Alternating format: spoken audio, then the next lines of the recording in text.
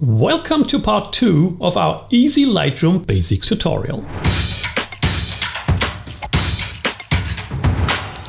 Our next Lightroom slider is Whites. You would expect the White slider to lower the brightness of the brightest parts of your image, in this case the white wall. So let's see what it does. I lower the brightness of the whites and you see the image gets somewhat pale and hazy. I don't like that. So let's reset that. We can do it by double clicking on the word whites. And now let's see what the highlight slider would do. You see, it is much more subtle. It keeps the contrast. I really like that. What I like to use the Lightroom white slider for though is brightening the brightest parts of your image. Let's see, we have a landscape and the clouds, even though they are almost white, they are not exactly white. So I would like to brighten them a bit. Let's see, I lift the whites up like that. So it adds some contrast and I like the image now much more. Let me show you something that is pretty cool. Lightroom has a built-in auto function for the white point. Now, if I shift double click on the word whites, Lightroom will automatically make the brightest pixels in your image 100% white. The reference of that white point is always the current image brightness. So if I boost the image brightness, the exposure all the way up like that, the white point will go from plus 33 to minus 8. Keep that in mind. So whenever you change something, you should change the white points too. But don't do that to every image. If an image doesn't contain anything that is supposed to be white, shift double clicking on white will create that. That's not correct. Another thing I like to use the white slider for is night sky images. The stars in a night sky image are usually the only things I want to be really white. So if I lift the white slider like that, you see, the stars will become really bright and that's what I want. Now, would shift double clicking on the word whites work in this scenario? Let's see. Nope. Why not? Because this part here is already so bright, it is overexposed. So Lightroom is reducing the brightness to make this 100% white. And that is the reason why I did not give you my raw files. I want you to understand what every slider does rather than mimic what somebody else does. What works on one image might not work on the next one. Our last use for the white slider will be making the background in a studio shot white. This was almost straight out of camera. Let me show you how it looked right out of camera. Like that. You see, I could even remove the barn doors top left and right in Lightroom. I didn't have to use Photoshop. But let's redo that reset again and look at the image. You already know that with the J key on the keyboard, I can show the overexposed areas in an image. And of course, white is totally overexposed because it can't get any brighter than that. Now let's see. The foreground is still not white. What can I do?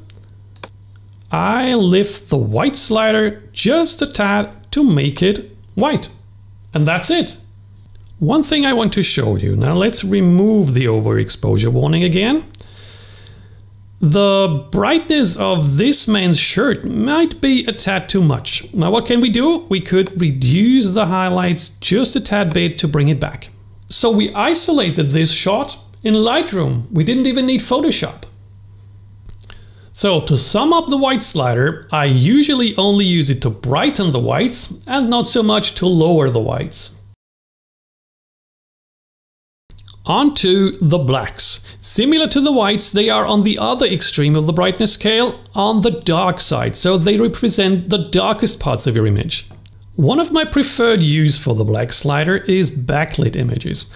I really love backlit images for the airy and warm look it gives me, especially when the sun creates some sun flare in the lens. But that means that the dark areas will never be black. You know what we can do? We can shift double click on the word blacks to set the black point. But in this case, I feel it's way too much. So I'll dial it back to like that. Super warm, super beautiful, very airy image. There you go. We just changed one single slider and received this kind of image. Another backlit shot. Lowering the blacks, adds some contrast and makes it beautiful. Even a studio shot can have some kind of backlight, like in this case the whites, so the white background reflects a lot of light back into the camera and creates some kind of haze. Now if I lower the blacks, I can add contrast and remove that haze. I hardly ever use the black slider to brighten the blacks. That's something I usually use the tone curve for, but I promised we will do a separate movie on that. That sums up to tone group. Next one is the presence group. The first slider in our presence group is the texture slider. What it does is it enhances or reduces very fine details in your image by increasing what is called local contrast. But you have to take care because ISO noise is also a very fine detail. So increasing the texture would also increase the noise. Now let's have a look. We have an image of a night sky again. What happens if I increase or reduce texture. You see? The contrast, the very fine local contrast is increasing and that's why I see even more stars. But you also see that increasing the texture slider will introduce noise. Let's have a look at a few other examples like these wooden tiles. Increasing the texture increases the texture of the woods, hence the name. Next is the detail of an ancient building. Raising the texture slider will increase the small details. It's similar to sharpening actually. Another great use for the texture slider is skin texture, but this time of course we don't want to increase it but rather decrease it to smoothen the skin. What you see is that not only the skin will get smoother, but also the eyes will become a little blurry. But of course we don't want that. So let me quickly show you something I'm going to explain in detail in a later video. With the so-called adjustment brush, I can brush settings on smaller areas of an image, like here. I paint only the texture on her forehead. You see, I can increase the texture or decrease the texture only on the forehead without changing anything else in the image. Isn't that just super awesome? There are many more tips to come, so don't forget to hit that subscribe button right now before we head on to the next slider. The next slider is clarity. It addresses details that are a bit bigger, so to say. So it adds contrast to the slightly bigger details than texture. It works on some images, but not so well on others, so in fact it is more a trial and error thing. What I find it works really great for is details in buildings. So let's move the clarity slider here. See? That looks super awesome. Reset that and once again lift it all the way up.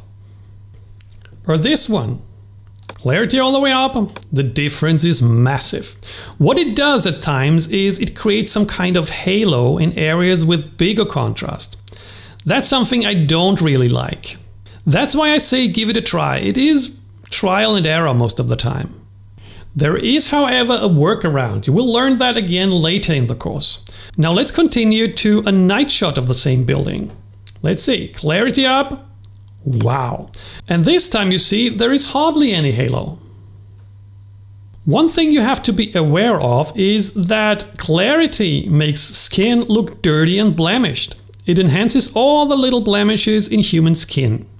Some photographers like that, portrait people usually not so much. If you want to show the evil or bad in people, that's the way to go though. Now check this. Now you know why I wear a beard. A slider that is great for landscape shots is the next one, the dehaze slider. What it does is pretty much what the name implies. Lift it up and you will see the haze miraculously disappears. Now what if you don't want the dehaze effect on the complete image and only like, for example here? You already know how that works? Let's go here, paint it. Let's make that smaller. Paint here. And now I can increase the dehaze slider only for that part of the image. You'll learn more about that, promised. Here is another example of my hometown.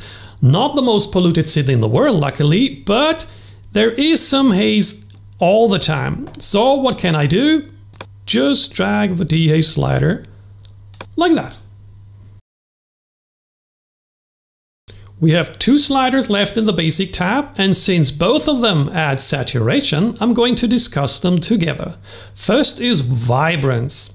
What vibrance does is it adds saturation to the less saturated areas in an image. Saturation, on the other hand, will add saturation over the complete areas of an image, so also to the ones that were already saturated. And sometimes that may be too much. Same in this example. Vibrance will add saturation to the areas that don't have much saturation, like for example the skin tones, while saturation will saturate the complete image, so also the background and the shirts in the foreground. What you can also do with the saturation slider is desaturate an image and create some kind of grungy cool look. Remember though, you're working on the raw file. A raw file usually has already less saturation than for example a JPEG file would have. And finally, here's another tip in regard to saturation, especially for sunset. You can increase saturation by boosting the temperature slider, like that, and it won't even add a lot of noise. That concludes our Lightroom Basic tab. Let me give you one more tip for editing in general. Don't overdo it. Especially beginners tend to do that. Now, if that was helpful for you, don't forget to hit that subscribe button and put your thumbs up because there's a lot more coming up and you don't want to miss anything. If this video was helpful for you, please help us rank higher in YouTube searches by subscribing, leaving a comment or simply spreading the word.